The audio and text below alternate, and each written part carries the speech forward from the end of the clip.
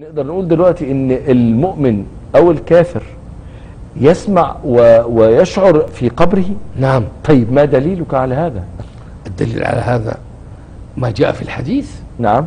أنه بعد أن تمت الغزوة غزوة بدر وأخذ المشركون ووضعوا في القليب. إيه معنى القليب؟ القليب معناه ال- البئر المفتوحة أو الحفرة المفتوحة المهجورة. نعم. فوضعوا فيها. فوقف صلى الله عليه وسلم وقال يا فلان يا عتبة يا وليد يا فلان عتاة الكفار. يناديهم. نعم. هل وجدتم ما وعد ربكم حقا؟ فإنا وجدنا ما وعد ربنا حقا. وجدنا النصر. الله وعدني بالنصر. الله وعدني بالظفر. الله وعدني بكل خير. وجدته. وأنتم هل وجدتم؟ وهذا السؤال معلوم ليس سؤال استفهام نعم. وإنما هو سؤال تقريري. تقريري. تقريري. نعم. فهنا تحرك سيدنا عمر بن الخطاب وقال له يا رسول الله تناديهم وقد جيفوا. يعني فهم عمر في ذاك الوقت الفهم الذي هو من بقايا تصورات الجاهلية. نعم. ولا. مانع من هذا. آه، نعم. لأنه فهم محدود. هم في كل يوم يزيدون معرفة مع رسول الله صلى الله عليه وسلم. ولذلك عمر بحسب تصوره السابق عن الحياة ال- التي هي بعد بعد الموت فهم منها أن هؤلاء لا يسمعون شيئا ولا يدركون. ولذلك قال له أتناديهم وقد جيفوا؟ فقال صلى الله عليه وسلم والله ما أنتم بأسمع منهم. يعني أنتم تسمعون وهم يسمعون مثلكم. ولستم بأعظم سمعا منهم. والله ما أنتم بأسمع منهم. ولو شاء أو لو أراد الله لأسمعكم أو لأراكم أو كما قال. فهذا دليل على أن الحياة البرزخية يحس فيها ال- الإنسان ويدرك ويعلم ويشعر. هذا عموما. توقفت عند حديث لما كان معنى الحديث أن الحبيب صلى الله عليه وسلم لما توقف عند أحد القبور وقال يعني لو تسمعون ما أسمع لبكيتم كثيرا على الرجل الذي يبكي ويئن في قبره في قبره. لأنه لم يتبرأ من بولته. أيوة فأخذ جذعا أو أخذ عودا أيوة. وغرسه عليه قال لعله أن يخفف عنه ما دام رطبا آه، يعني إذا يمكن أن يسمع ال- يعني هذا دليل للسمع؟ نعم. ولا وخصوصية؟ طبعا هذه خصوصية. آه. ليس كل واحد من الناس هيمشي ينفتح سمعه لأجل أن يسمع ما يجري في داخل القبور. ولا كل واحد من الناس ينفتح بصره ليرى ما يجري في داخل القبور. هذه مسائل خصوصية ترجع إلى الكرامات. نعم. وإلى خوارق العادات. يعني لكن قد يكشف الله الحجاب. نعم. قد يكشف الله الحجاب. نعم. لك أو لي أو لغيرنا في حالة من الأحوال. فنرى فيها بأعيننا ونسمع فيها بآذاننا ما يجري في داخل البرزخ. ما هي خصوصيات الحبيب المصطفى صلى الله عليه وسلم في الحياة البرزخية؟ إذا نبينا صلى الله عليه وسلم أولا كغيره من البشر هو في برزخه يسمع ويحس ويشعر هذا كغيره.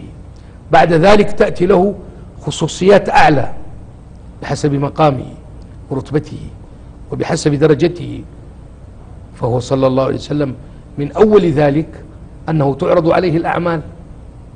نعم. وهذا ثابت بالحديث.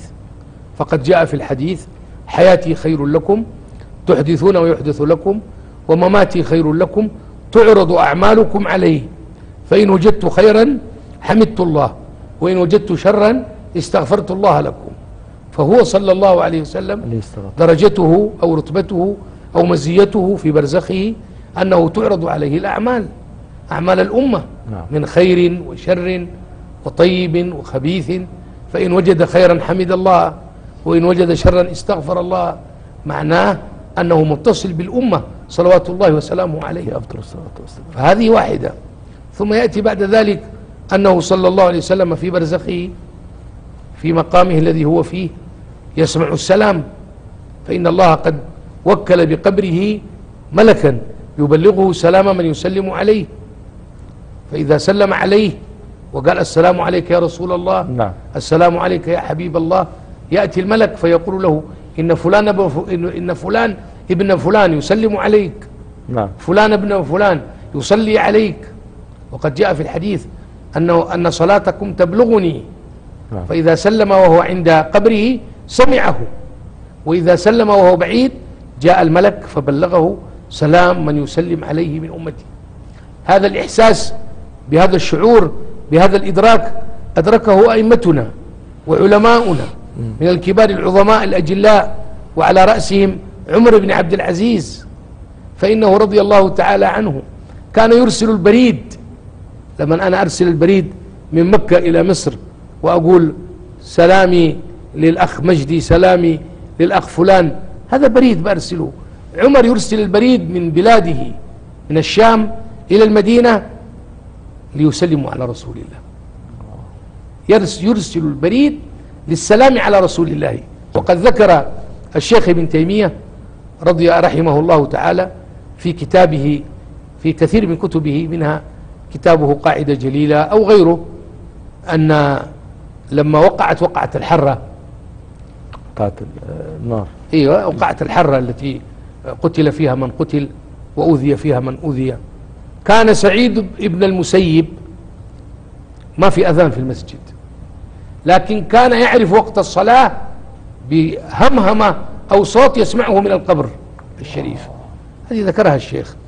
على كل حال هذه كلها مواقف ومشاهد قد لا تحصل لكل واحد وإنما تحصل لمن أراد الله تعالى به. بقى لأن كده نخش على ال- الأولياء اللي بعد الصحابة والتابعين التابعين.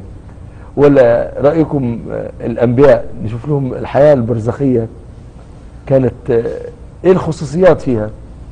الخصوصيات أن أننا نحن الآن نصلي كم صلاة؟ خمس خمس صلوات. صلوات. وكانت كم؟ خمسين. خمسين. فأليس هذا بسعي نبي من أنبياء الله؟ هو الذي كان يراجع سيدنا رسول الله. نحن في بركة تلك ال ال ال تلك الدعوة وتلك الرسالة. نعم ما ننكر أن سيدنا رسول الله صلى الله عليه وسلم. كان يراجع ربه وكل ما مر بموسى قال له إني خبرت الناس قبلك فارجع واطلب التخفيف. هذا الموقف هذا من رجل حي أو ميت. يعني موسى قبل النبي كم ألف سنة؟ نعم. ثلاثة آلاف أو أكثر؟ نعم. وهو يرشده إلى أن يطلب تخفيف الصلاة. فيقول له ارجع إلى ربك فاسأله التخفيف. سبحان الله. نحن الآن في بركة طبعا في بركة الله وبركة رسول الله وبركة موسى عليه الصلاة والسلام. نعم. لأن نحن موسى ليس هو موسى عدو النبي ال- اليهود بل هو حبيبنا قبل اليهود. نعم. ونحن نغار على مقام موسى ومقام عيسى ونعتبرهم أنبياء لنا لأنهم هؤلاء يمثلون حضرة المصطفى صلى الله عليه وسلم. فلم يزل موسى يراجع آه، النبي صلى الله عليه وسلم والنبي يراجع ربه حتى حصل التخفيف. هذا من آثار الأنبياء. وكذلك من آثار الأنبياء في هذا الباب ما سيكون في آخر الزمان أن سيدنا عيسى سينزل إلى الأرض لكن ينزل لا ينزل رسولا ولا ينزل صاحب رسالة ولا صاحب كتاب وإنما ينزل مؤمنا بمحمد بن عبد الله وداعيا إلى كتاب الله محكما للشريعة الإسلامية.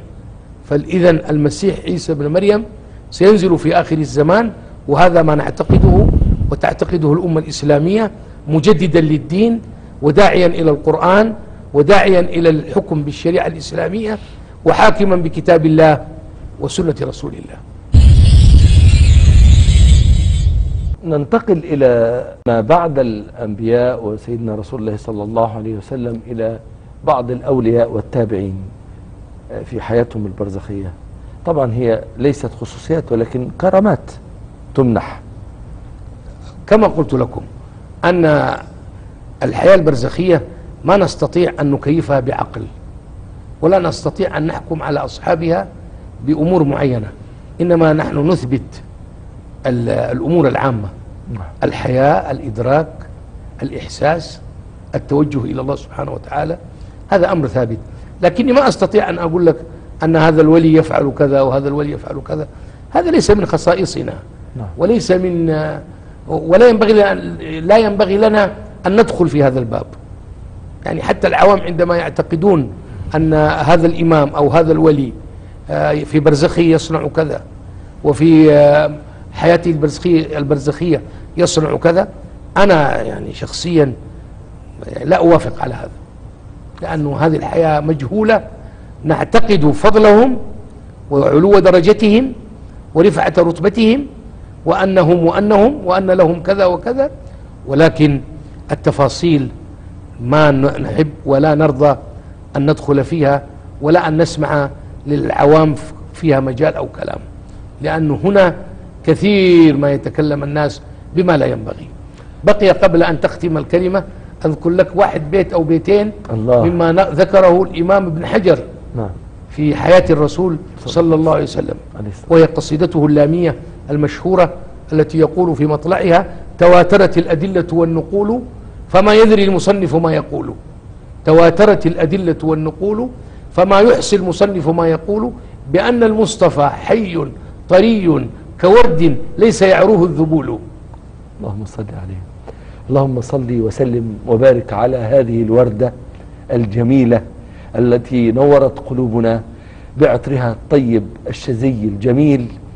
تعرفنا من السيد محمد علوي الملكي على هذه الوردة الجميلة في قبرها الشريف ولنا موعد ولقاء ووعد إن شاء الله أن يكون لنا لقاءات أخرى مع هذه الوردة الجميلة وهو الحبيب المصطفى صلى الله عليه وسلم في سيرته إن شاء الله. ومع مفهوم آخر والسيد محمد علوي الملكي